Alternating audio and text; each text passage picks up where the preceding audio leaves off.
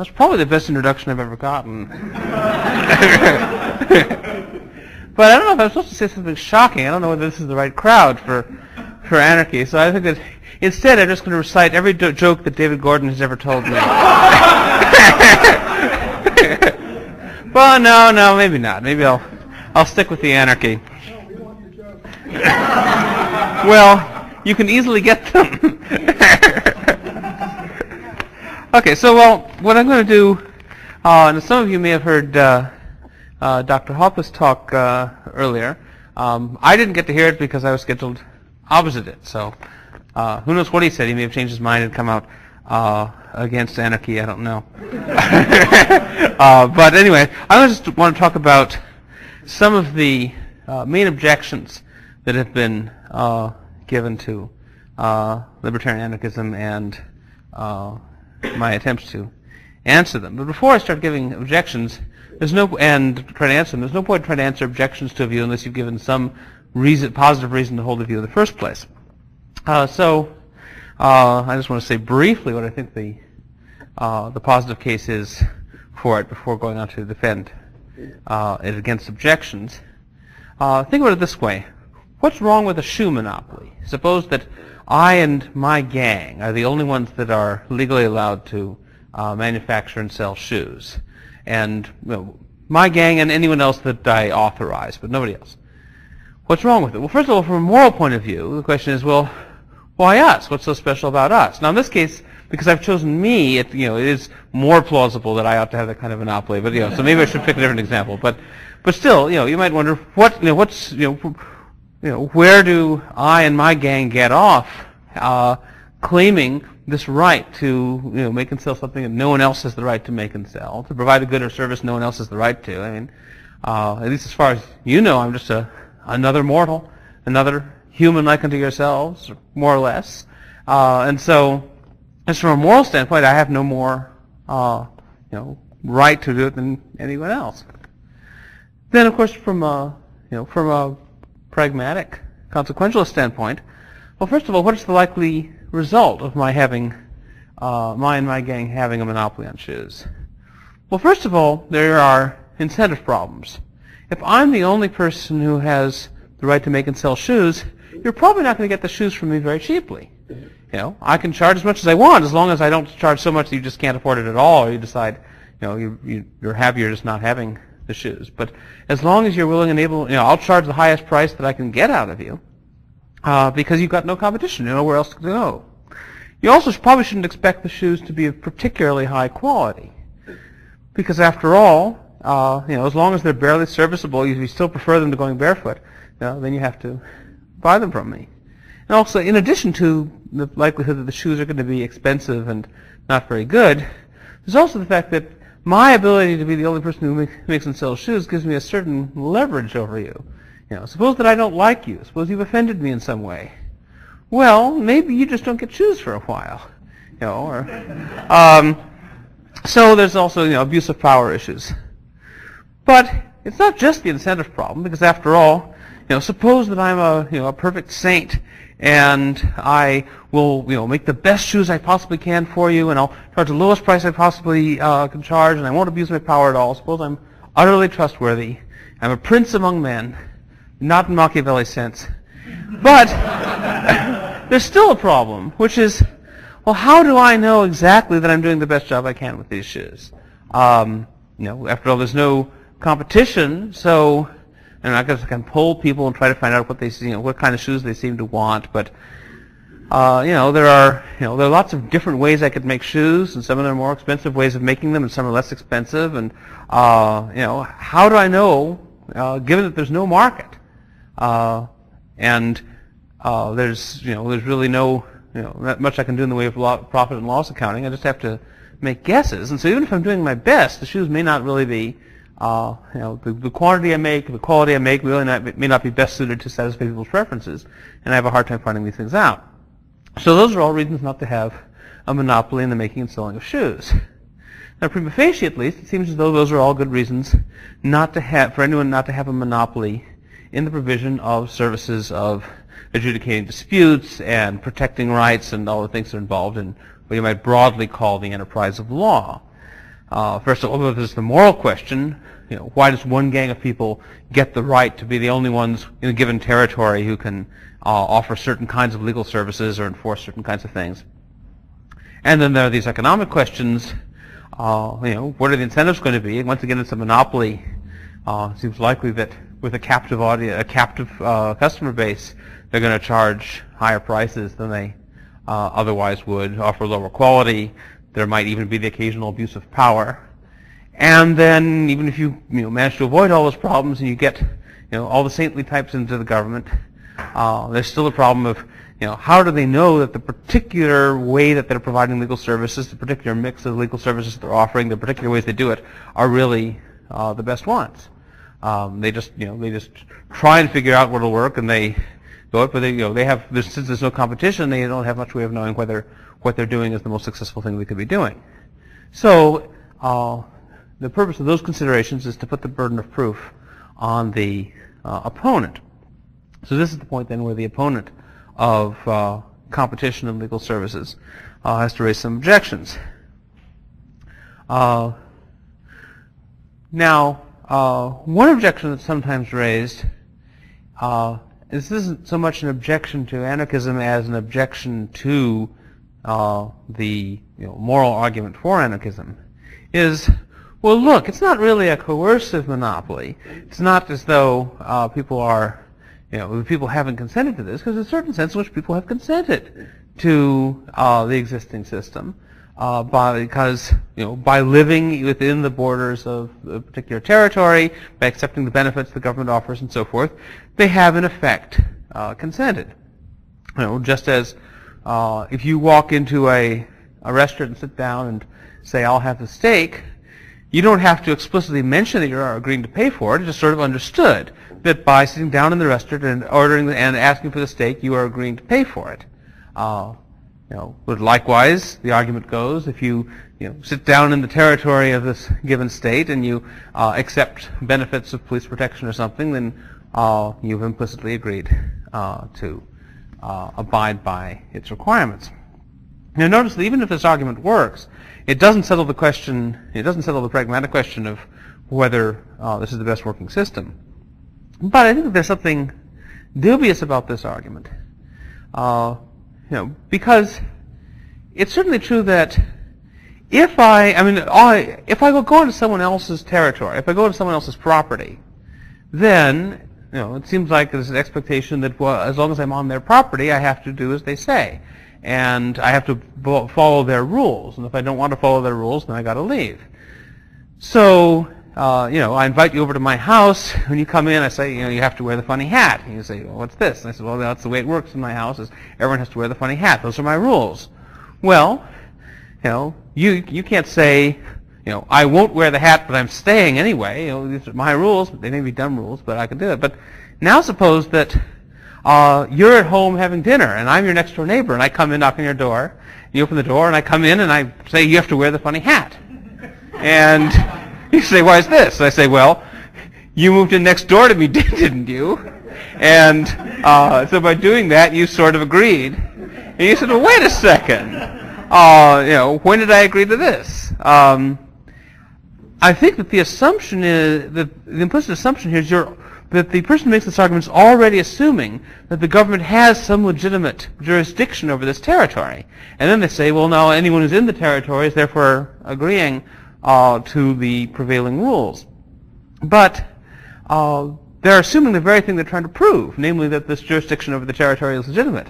If it's not, then the government is just a, one more group of people living in this broad general geographical territory. But, you know, I've got my property, and exactly what their arrangements are, I don't know, but here I am on my property, and they don't own it. Uh, at least they haven't given me any argument that they do. And so, you know, the fact that you know, I'm living in this country means I'm living in a certain geographical region that they have certain, you know, pretensions over. But the question is whether those pretensions are legitimate, and you can't assume it without proving it. Uh, I mean, you can't assume it before, uh, in the, uh, as a means to proving it. And, uh, and of course, another thing, it's, you know, the problem with these, one problem with these implicit social contract arguments is it's not clear what the contract is. I mean, in the case of of ordering food in a restaurant, you know, everyone pretty much knows what, you know, what the contract is. So you could run an implicit consent argument there, but you know, no one would suggest that you could, uh, you know, you could buy a house the same way. Uh, you know, there are all these rules or things like that. You know, when something complicated, no one just says, you know, you just sort of agreed by nodding your head at some point or something. Uh, you have to find out what's the, what is actually in the contract. What are you agreeing to? And it's not clear what the if no one knows what exactly the details of the contract are. It's not that persuasive. Okay, well, most of the arguments are going to talk about a pragmatic uh, or a mixture of moral and pragmatic.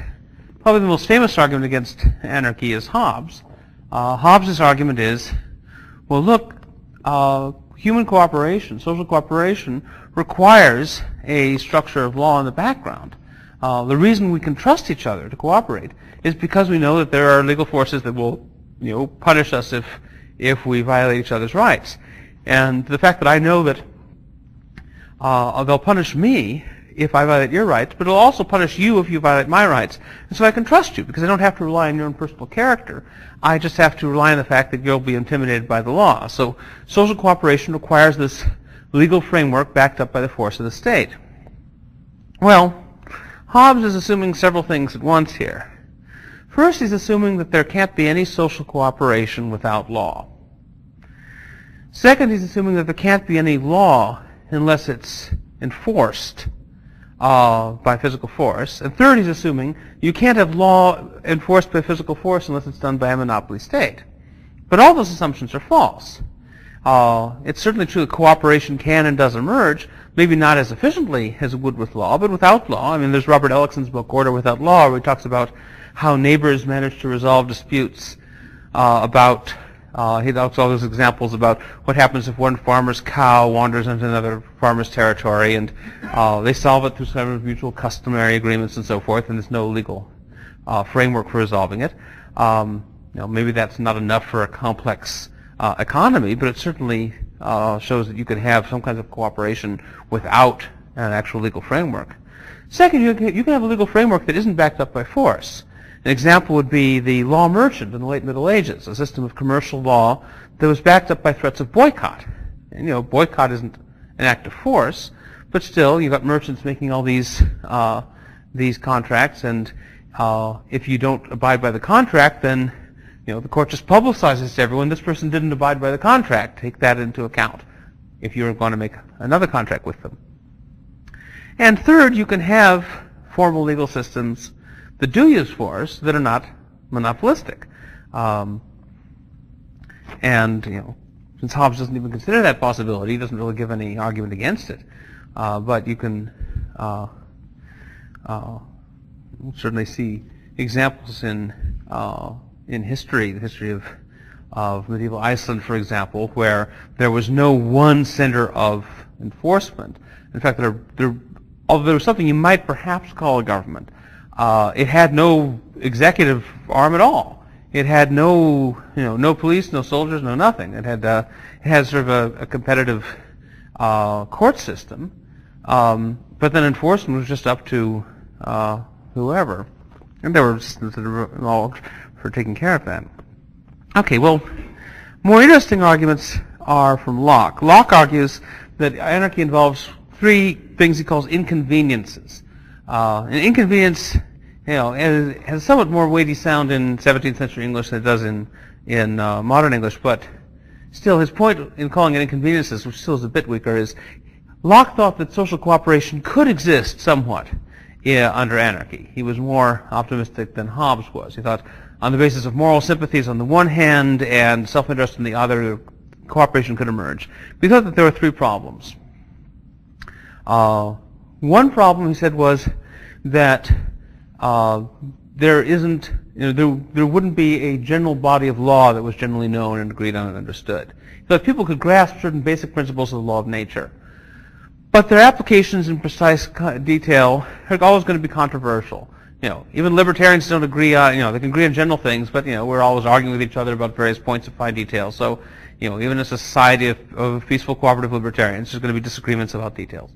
And so unless there's some general body of law that everyone knows about so that they can know what they can count on being able to do and what not, it's not going to, uh, it's not going to work. So that was Locke's first argument. There has to be a general a generally known universal body of law that applies to everyone that everyone knows about ahead of time. Second, uh, there is a, uh, a power of enforcement problem. We thought that uh, that uh, without a government, you don't have sufficient uh, sufficiently unified power to enforce. You just have sort of individuals enforcing things on their own, and they're just too weak. They're not organized enough. They could be overrun by a gang of bandits or something. Third, Locke said, problem is that there's uh, the problem that people can't be trusted to be judges in their own case. If two people have a disagreement, and one of them says, well, I know what the law of nature is, and I'm going to enforce it on you, well, people tend to be biased, and they're going to find most plausible the, the interpretation of the law of nature that favors their own case. So he thought that you can't you can't trust people to be judges in their own case. Therefore, you have to uh, therefore they should be morally required to submit their disputes to an arbitrator. Maybe in cases of emergency, they can still defend themselves on the spot, but you know, for other cases where it's not a matter of, of immediate self-defense, they need to delegate this to an arbitrator, a third party, and that's the state. Well, so Locke thinks that these are three problems you have uh, under anarchy and that you wouldn't have them under government, or at least under the right kind of government. But I think that's actually the, exactly the other way around. I think that, that anarchy can solve all three of those problems, and that the state by its very nature cannot possibly solve them. Uh, so let's first take the case of uh, universality, of having a universally known uh, you know, body of law that people can know ahead of time and count on. Um, now, can that emerge in a non-state system? Well, in fact, it did emerge in the law merchant, precisely because the states were not providing it. Uh, one of the things that helped to bring about the emergence of the law merchant is the individual uh, states in Europe each had different sets of of laws governing merchant, uh, governing merchants. And, each, and they're all different. And a court in, in France wouldn't uphold a contract made in England under the laws of England and vice versa. And so the merchant's ability to engage in international trade was hampered by the fact that there were, you know, there wasn't any uniform system of commercial law for all of Europe. So the merchants got together and said, well, let's just make some of our own. You know, the courts are coming up with these crazy rules and they're all different and they won't respect each other's decisions. We'll just ignore them and we'll set up our own system. So this is a case in which the in which uniformity and predictability were produced by the market, not by the state. And you can see why that's not surprising.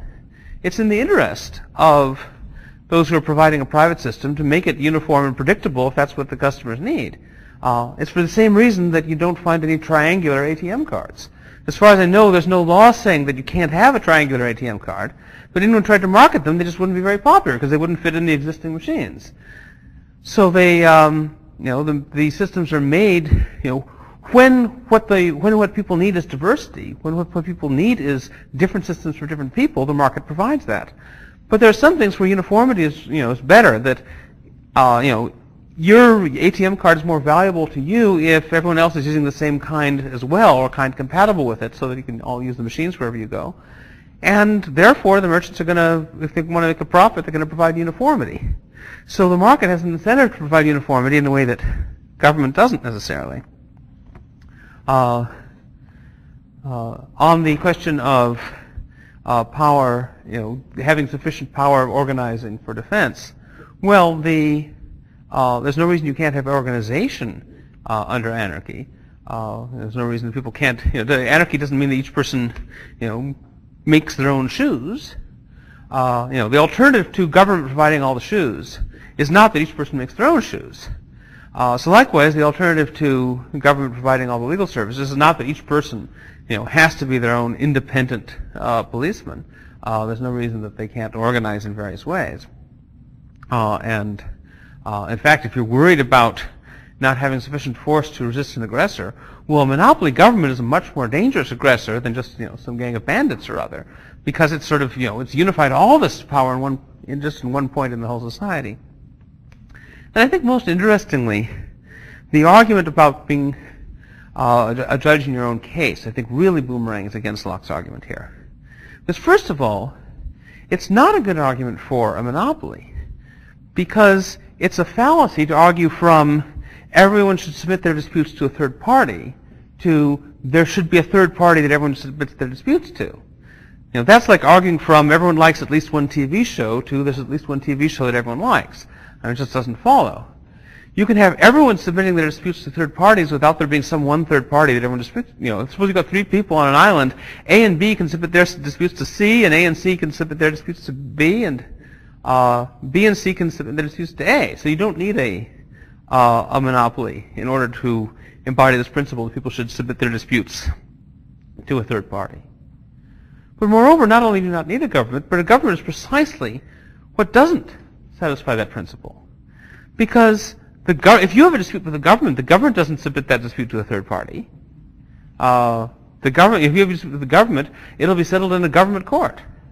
Well, if you're lucky. If you're unlucky, it'll be, you know, you know, if you live under one of the, you know, one of the more uh, rough and ready governments, will will never even get as far as a court. But, um, but if it's settled in a government court, you know, now of course it, it's better if the government itself, you know, divided checks and balances and so forth. That's a little bit better. It's closer to there being third parties, but still they are all part of the same system, and the judges are paid by tax money and so forth. So it's not as though uh, you can't have sort of better and worse approximations to this principle among different kinds of governments, but still, as long as it's a monopoly system, it by its nature, it's in a certain sense lawless. It never, it, it never ultimately submits its disputes to a third party. Uh, probably the most popular argument uh, against libertarian anarchy is, well, what happens if, uh, and this is Ayn Rand's famous argument, is what happens if, uh, you know, I think you've violated my rights and you think you haven't, and so I call up my protection agency, you call up your protection agency, and, uh, you know, why won't they just do battle? What guarantees that they won't do battle? Which, of course, the answer is, well, nothing guarantees they won't do battle. I mean, human beings have free will. They can do all kinds of crazy things. They might, you know, they might go to battle. You know, likewise, uh, you know, George Bush might decide to push the nuclear button tomorrow. I mean, you know, they might do all sorts of things. The question is, what's likely? Uh, which is likelier to settle its disputes uh, through violence, a government or a private protection agency? Well, the difference is that uh, private protection agencies have to bear the costs of their own decisions to go to war. Uh, going to war is expensive. If you have a choice between two protection agencies, and one solves its disputes through violence most of the time, and the other one solves its disputes through arbitration most of the time, you know, you might think, oh, I want the one that solves its disputes through violence. That sounds really cool. Um, but then you, you know, you look at your monthly premiums, and you think, well, you know, you know, how committed are you to the, you know, to this Viking mentality? Uh, now you might you might be so committed to the Viking mentality that you're willing to to pay for it, but still, you know, it is more expensive, and a lot of customers are going to be say, well, I want I want to go to one that uh, you know doesn't charge you know all this extra amount for the violence. Whereas you know uh, governments can simply you know first of all they've got captive customers they can't go anywhere else. Besides they're taxing the customers anyway. Um, and so the customers don't have the option to switch to a different agency. And so governments can externalize the costs if they're going to war much more effectively than private agencies can. Uh, one common objection, and this is one that you find, for example, uh, Robert Bidinotto, who's a Randian, has written a number of articles uh, against anarchy, and I've, he and I have had sort of a running debate online about this. His principal objection to anarchy is that under anarchy there's no final arbiter in disputes.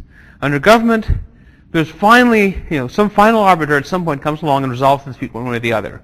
But under anarchy, you know, there's no, since there's no one agency that's, that has the right to settle things for once and for all, there's no final arbiter, and so disputes in some sense never end. They never get resolved. They always remain open-ended.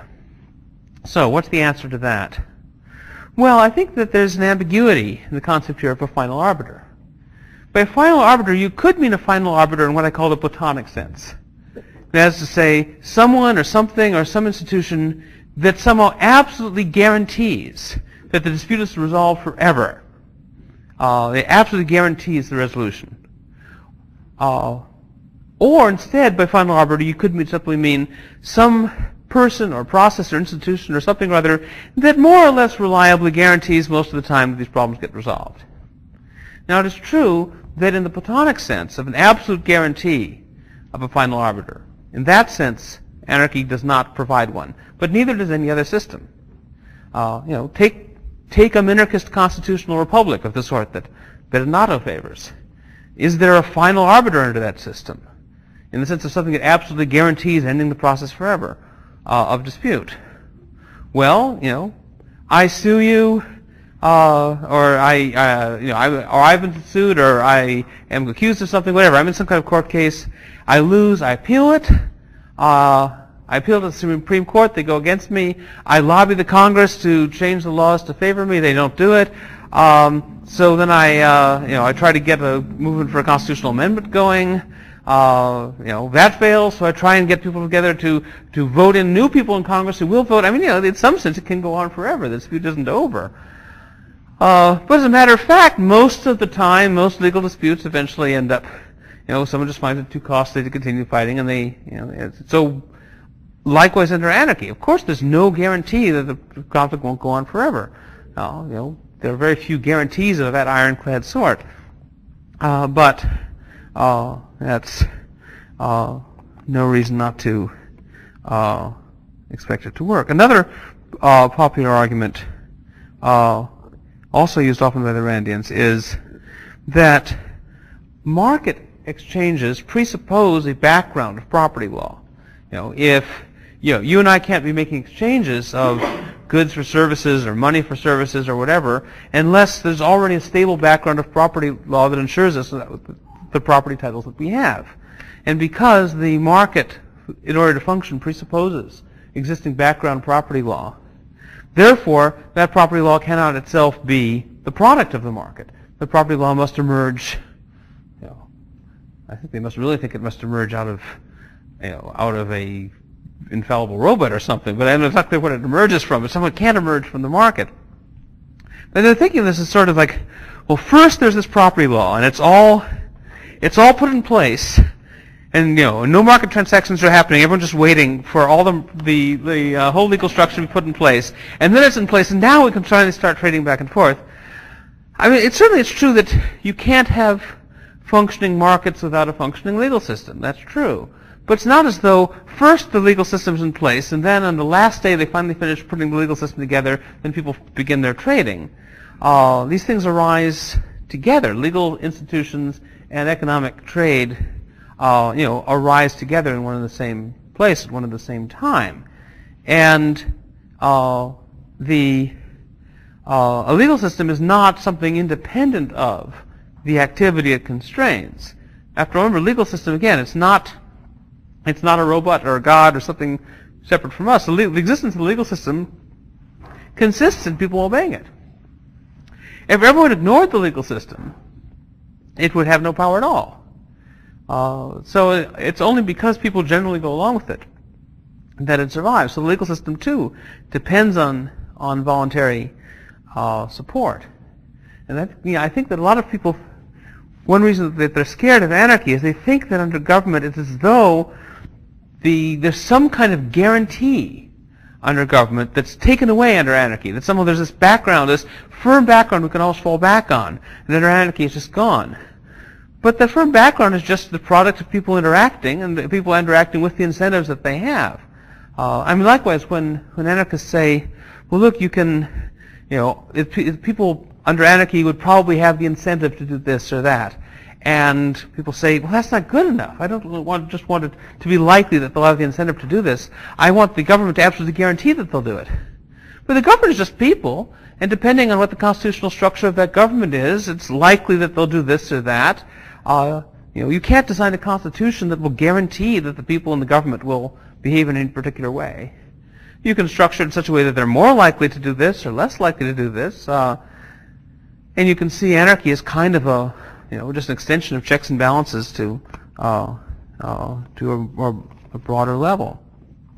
And for example, people say, well, you know, what guarantees that the different branches of, I mean, the different agencies will resolve things in a particular way? Well, the, the U.S. Constitution says nothing about what happens if different branches of the government disagree about how to resolve things. It doesn't say what ha- what happens if if uh, the Supreme Court thinks something is unconstitutional, but Congress thinks it doesn't and wants to go ahead and do it anyway. It famously doesn't say what happens if there's a dispute between the states and the federal government. Uh, yeah. So, you know, our, the, the, current uh, system where once the Supreme Court declares something unconstitutional, then the you know the Congress doesn't uh, or the president don't try to do it anymore, at least not quite so much. Um, uh, that didn't always exist. Remember when when the court declared what, what Andrew Jackson was doing unconstitutional uh, when he was president, he just said, "Well, they've made the decision, let them enforce it," uh, which. Uh, and the Constitution doesn't say whether you know whether Willie Jackson did it was the right way, or whether. But the way we do it now is a way that's emerged through custom. You know, maybe you're for it, maybe you're against it. Whatever it is, it was never codified in law. One objection is that uh, under anarchy, organized crime will take over. Well, it might, you know. Uh, but is it likely? Organized crime gets its power uh, because it specializes in things that are illegal, things like drugs and prostitution and so forth. You know, during the years when alcohol was prohibited, organized crime specialized in the alcohol trade. You know, nowadays, you know, they're not so big in the alcohol trade. So the power of organized crime, you know, you know, to a large extent, depends on the power of government. It's sort of a parasite on government's activities. Uh, government governments by banning things create black markets, and uh, black markets are sort of dangerous things to be in because you have to worry, uh, you know, both about the government and about you know other dodgy people who are going into the uh, black market uh, field, and so it Organized crime specializes in that. Uh, so organized crime, I think, would be weaker, not stronger, uh, in the libertarian system. Another worry is that the rich would rule. After all, you'd say, well, won't justice just go to the highest bidder in that case? Um, uh, if uh, if you turn uh, legal services into uh, an economic good, that's a common objection. in fact, interestingly, it's a, a particularly common objection among Randians has suddenly become very concerned about the about the poor, impoverished masses. Uh, but um, but under which system are the rich more powerful? Under the current system or under anarchy? I mean, certainly you've always got some sort of advantage if you're rich. I mean, it's good to be rich. Uh, you know, you're always in a better position to bribe people if you're rich than if you're not. And that's that's true. Uh, but under under the current system, the power of the rich is magnified because you know suppose uh, suppose that I'm a you know an evil rich person and I want to get the government to do something or other that costs a million dollars. Do I have to bribe some bureaucrat a million dollars to get it done? No, because I'm not asking him to do it with his own money. Obviously, if I were asking him to do it with his own money, I couldn't get him to spend a, a million dollars by bribing him any less than a million. Uh, it'd have to be at least a million dollars and one cent. Uh, but uh, you know, people who control tax money that they don't themselves personally own and therefore can't do whatever they want with. Uh, you know, the bureaucrat can't just pocket the million and go home, although sometimes they get surprisingly close to that, but they can't really. But all I have to do is, you know, I bribe him a few thousand, and he can direct the, you know, this million dollars in tax money to my favorite project or whatever, and thus, you know, my the power of my bribe money is multiplied. Whereas if he were the head of some private protection agency and I'm trying to get him to do something that costs a million dollars, uh, I'd have to bribe him, you know, more than a million. So the, you know, the power of the rich is, is actually less under this system. And of course, a, uh, you know, it's a any court that got the reputation of uh, discriminating in favor of millionaires against poor people would also have presumably have the reputation of discriminating uh, for billionaires against millionaires. And so uh, the millionaires would not want to you know, deal with it all the time. They'd only want to deal with it when they're dealing with, with the people poorer, not people richer. And the reputation effects, I don't think this would be uh, too popular an outfit. Worries about uh, poor victims who uh, can't afford uh, legal services, or victims who die without heirs. Again, the Randians are very worried about victims dying without heirs. Uh, but uh, the, in the case of poor victims, you can do what they did in medieval Iceland. If you're uh, too poor to uh, you know, to purchase legal services, still, if someone has harmed you, you have a claim to compensation from that person. You can sell that claim, or part of the claim, or all of the claim to someone else. actually, it's kind of like um, hiring a lawyer on a contingency fee basis and uh, you can sell to someone who is in a position to uh, enforce your claim. Or if you die, you might say that if you die without heirs, in a sense, you're, you know, you, you died, one of the goods you left behind was your claim to compensation, and that can be uh, homesteaded. Another worry that Bidinotto has is, this is sort of the opposite of the worry that the will rule, is, well look, isn't Mises right that the market is like a big democracy where, you know, consumer sovereignty, the masses get whatever they want. Uh, and that's great when it's, you know, refrigerators and cars and so forth. But surely that's not a good thing when it's laws. Uh, because after all, the masses are a bunch of, you know, ignorant, intolerant fools.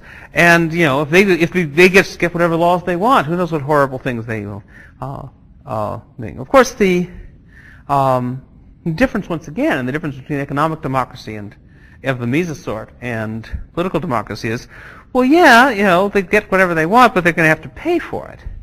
Now, it's perfectly true that, you know, if you have people who are, you know, fanatical enough about wanting to impose some wretched thing on other people, uh, if you've got a large enough group of people who are fanatical enough about this, you know, then you know, anarchy might not lead to uh, libertarian results. You know, if you've got, you know, if you're living in California, you've got enough people who are, you know, absolutely fanatical about banning smoking. Or maybe if you're in Alabama and it's homosexuality instead of smoking, uh, they want to ban. Uh, neither one would ban the other, I think. But um, uh, in that case, uh, you know, it might happen that they're so fanatical about it that they would ban it. But remember that they are going to have to be paying for this. And so when you get your monthly premium, you say, well, you see, well, here's your basic service. Uh, of, of you know basically you know protecting you against aggression. Oh, and then here's also your extended service and the extra fee for that of you know peering in your neighbor's windows to make sure that they're not you know either the tobacco or the homosexuality or whatever it is you're worried about. Um, and uh, you know now the really fanatical people will say yes, I'm going to shell out the extra money for this, but uh, not. But if you're not so fanatical, then the but of course, if, if they're that fanatical, they're probably going to be trouble under minarchy too. But if they're if they're not that fanatical, they'll say, well, you know, if all I had to do is go into a voting booth and vote for these, you know, for these laws, uh, you know, restricting other people's freedom, well, heck, I'd go in. It's you know, it's pretty easy to go in and vote for it. But if I actually have to pay for it, gee, I don't know. Maybe I can reconcile myself to to this. Okay, one last uh, one last consideration I want to talk about. And uh, this is a question that originally was raised by Nozick, Robert Nozick, and has been since been pushed farther by Tyler Cowen. Uh, Nozick said, well, look, suppose you have anarchy. One of three things will happen. Either they will fight, either the agencies will fight, and he gives two different scenarios of what will happen if they fight. But I've already talked about what happens if they fight. So I'll talk about the th- third option.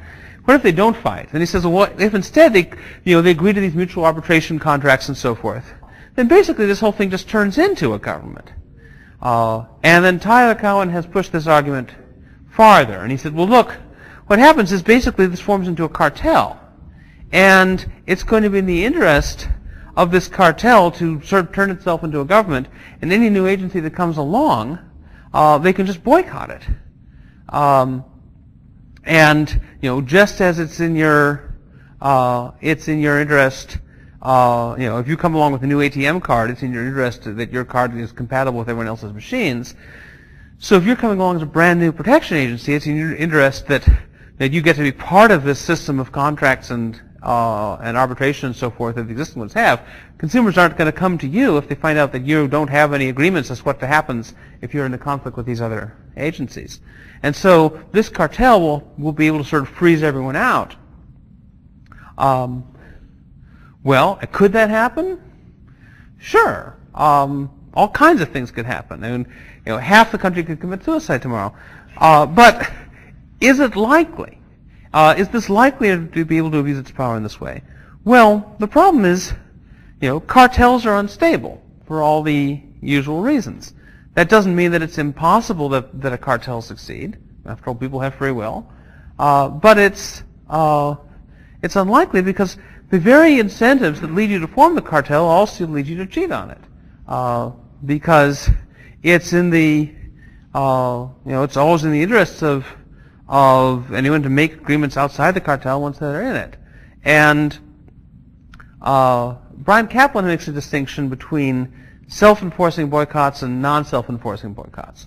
Self-enforcing boycotts are ones where uh, the boycott is pretty stable because it's a boycott against, for example, a boycott against doing business with people who cheat their business partners. Now, you don't have to, you know, have some iron resolve of moral commitment in order to avoid doing business with people who cheat their business partners. You have a perfectly self-interested reason not to do business with those people. But think instead of, you know, uh, not doing, do, you know, a commitment to do business, not to do business with someone because, you know, you don't like their religion or something like that, or they're a member of the wrong, you know, protection agency, one that your fellow protection agencies told you not to deal with. Well, the boycott might work uh, in the sense that, you know, you might be more committed to, uh, and maybe enough people might be more committed, maybe everyone in the cartel is so committed to upholding the cartel that they just won't deal with the person. Is that possible? Yes. But uh, you know, if we assume that they formed the cartel out of their own economic self-interest, if that's the, you know, then the economic self-interest is precisely what leads to the undermining because uh, it's in their interest to deal with the person, um, uh, just as it's always in their interest to engage in uh, in mutually beneficial trade. Um, so those, anyway, so those are some of the objections and some of my replies, and I'll open it up.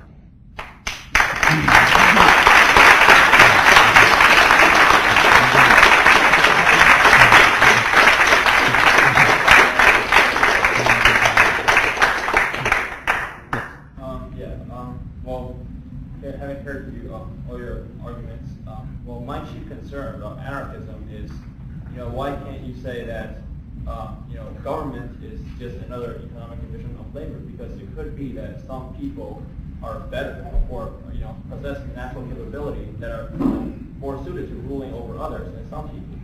You know, and I mean, what, I think one of the most powerful testaments to I mean, I'm not saying anarchy cannot work, but I'm saying one very powerful and a priori can't. It's not a priori thing that you use. So you know, from empirical evidence, the fact that you know no, um, none of the industrialized regions of the world are in a state of anarchy, and nor have they ever been in a prolonged state of anarchy. It seems to, you know, speak something about perhaps, uh, you know, the stability or the viability of, you know, hmm. complex human societies in the presence of anarchy.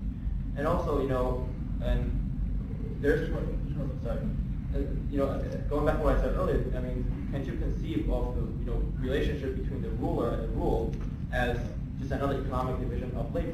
Some people possess leadership, charisma, that are better able to organize people than others, and you know, they're able to, you know, use these as instruments of their rule, and some people lack that. Well, okay, on the on the division of labor point, uh, to the extent that the division of labor is voluntary, uh, as uh, you know, if if you're better at something rather than I am, and so I, you know, you do it, and then I buy the services from you, as long as it's voluntary, that's fine. When we're talking about a division of labor, some people are better at ruling than other people. Well, if I consent to your ruling me, it might be just like I'm, I'm hiring you as my advisor. I think you're better at making decisions than I am, so I make sort of one last decision, which is to hire you as my advisor. Um, and then from then on, I, I do what you say. Um, you know, but you know, that's not government. That's just, you know, I've, you're my employee, but you're an employee that I, that I you know, follow very religiously.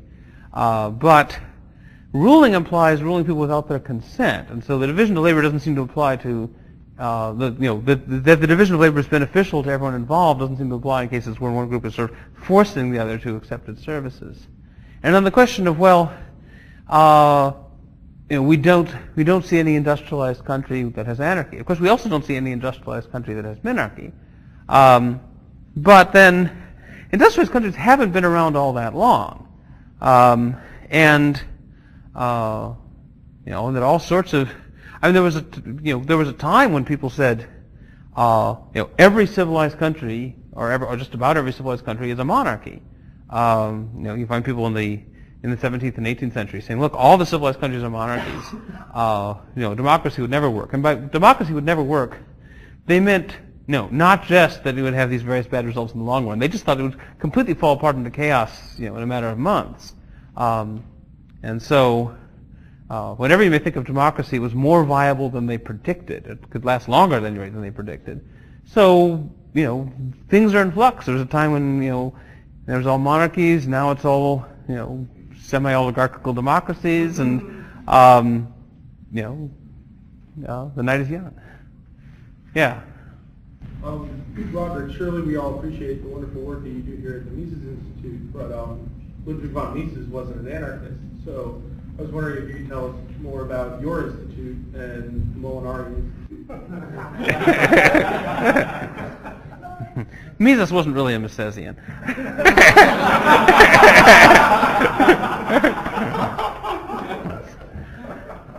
well, I have my own think tank. It is somewhat smaller than this one. Uh, I'm not sure. I'm not sure whether it has a physical size. I, um, it it does consist of more than one person. Uh, it's it uh, the board of directors is three people, so it, it's three people plus a website. Um, and you know, someday it will rule the earth in a in an anarchic way.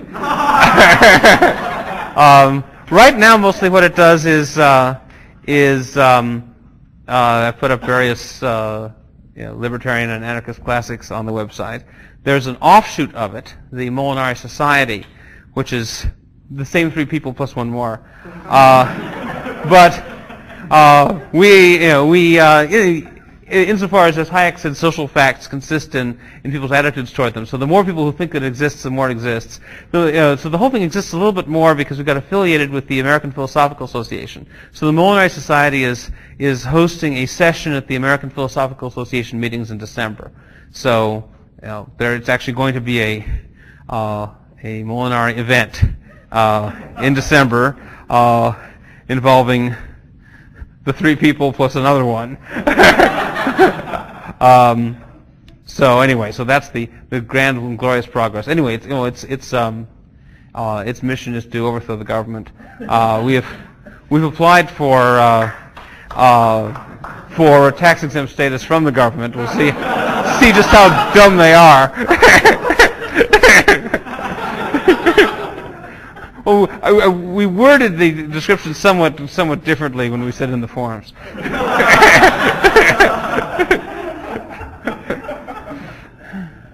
yes. Yes.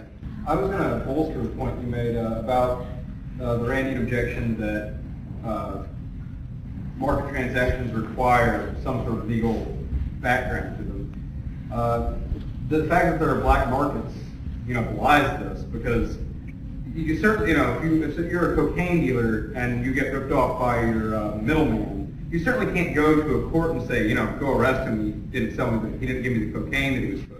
I'm sure someone's tried it, but now, you know, of course, this does often talk, this, you know, very easily can lead to violence, but that is also, don't forget that it's an active there are people actively trying to stop you, not just that, you know, they're not letting you arbitrate. No, they're actively stopping you from doing it. So, you know. Yeah. And David Friedman makes the argument that one of the main functions of the mafia is to serve as, as something like a court system for criminals. And it's not all it does, but it, the thing is, you know, if, if uh, you know, the, the, mafia takes an interest in what sorts of criminal goings on are going on in its territory because it wants its cut, but it also, you know, it doesn't want the, you know, gangs shooting a shooting, having shootouts with each other in its territory. And if you've got a conflict, you know, you agreed on some kind of criminal deal with someone and they they cheated you, and it happened in the jurisdiction of some particular mafia group, well, they'll take an interest in that. And uh, you know, as long as you're you know you're providing your cut, and if they're not cooperating, they'll, they will act as something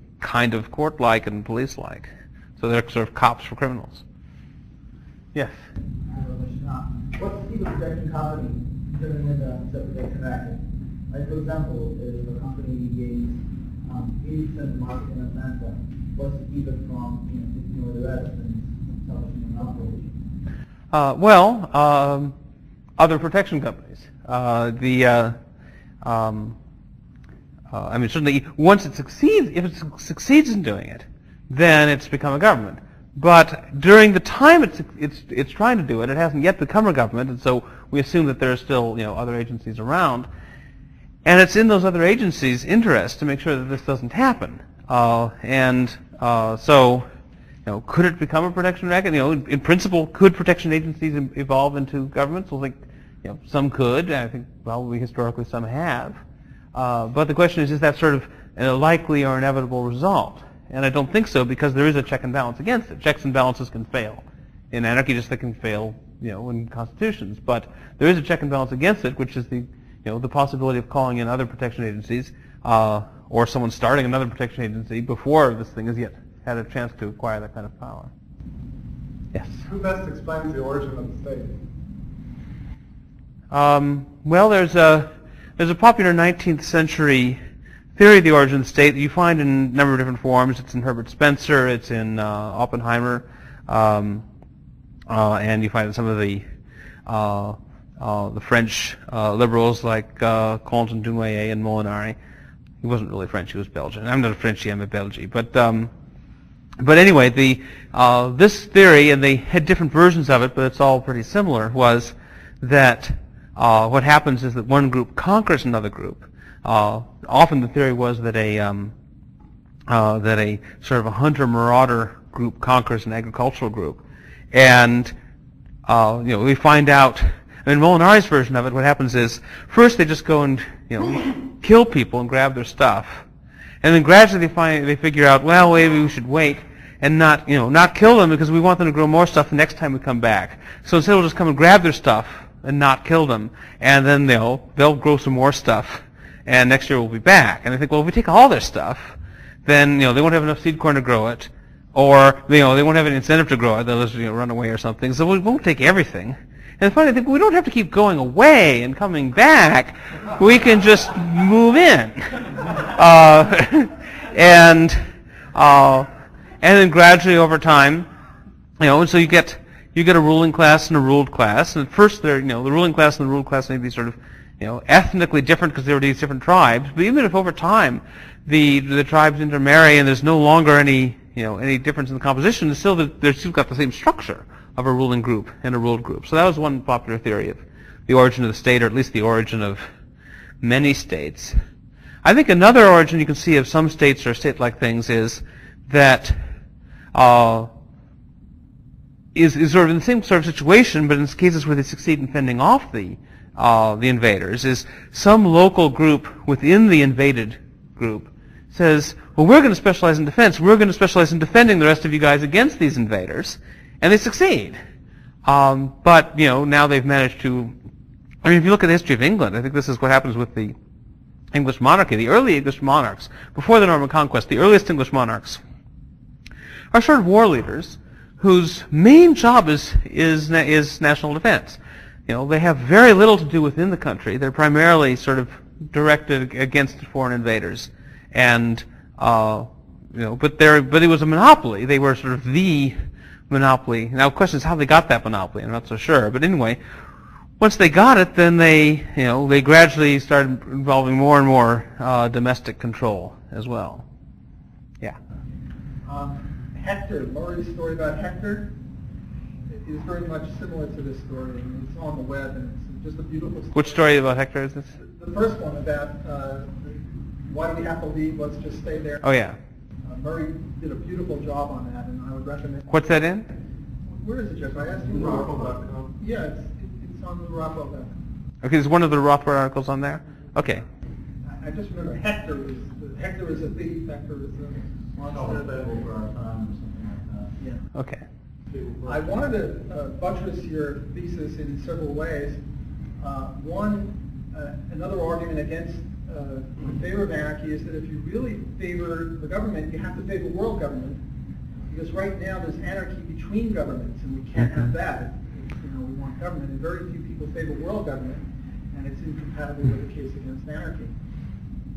Another Yeah, that's should be a final, final arbiter. Right.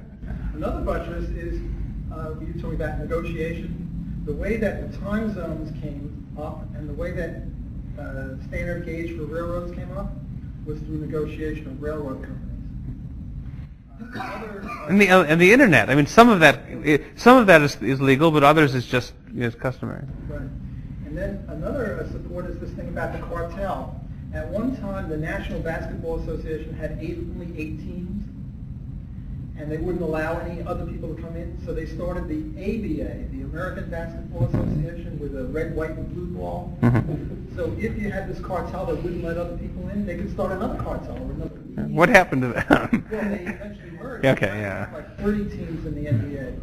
And if that's too few and they move Mhm. more in, Yeah. yet another league can come up. Yeah. Because the crucial point is, you know, the Austrian definition of competition is not number of competing firms, it's the free entry. So as long as it's possible to start another one, it's, you know, that can have the same uh, effect as actually In doing it. addition to the dissolution of cartels, you can have other cartels competing with the first cartel. Did the XFL have any good effect?